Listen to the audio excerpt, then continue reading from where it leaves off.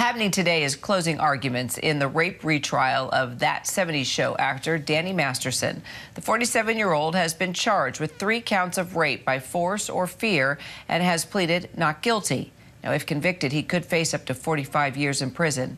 ABC News legal contributor and criminal defense attorney Channa Lloyd joining me now to talk about this. So, Masterson's first trial ended in a mistrial, and that was in December, with jurors hopelessly deadlocked on all three counts. Closing arguments are a huge part in appealing to the jurors. So, do you think prosecutors did enough to sway the jury this time around, Channa?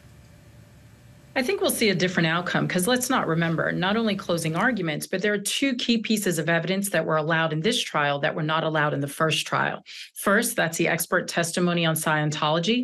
Also, that's the direct evidence about the drug, the young ladies being drugged. So that could have a very significant impact on this jury because those are two topics that are very charged and people have very strong feelings about them. So I do think that we'll see a different outcome. So, in your experience, now that we've heard testimony from the women that were impacted by sexual assault, how does this change things for both the defense and the prosecution? In these type of cases whenever i've had to try these cases when the victim comes forth and she tells her story or whoever the victim is and comes and tells their story the jury has the ability to determine credibility. They determine whether they believe the story as these victims are recounting it. So it's powerful evidence for the jury to make a determination on whether or not they believe the factual allegations that were given against the defendant so Masterson's attorneys have said that the stories told by these women are full of inconsistencies and that they're just not credible. Do you think they've put up a good defense here?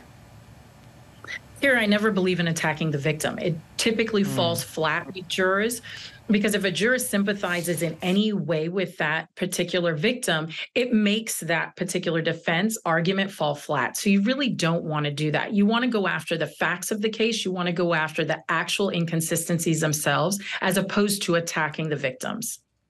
Yeah, point well made. Channa, thanks so much. Always a pleasure. Hi, everyone. George Stephanopoulos here. Thanks for checking out the ABC News YouTube channel. If you'd like to get more videos, show highlights, and watch live event coverage, click on the right over here to subscribe to our channel. And don't forget to download the ABC News app for breaking news alerts. Thanks for watching.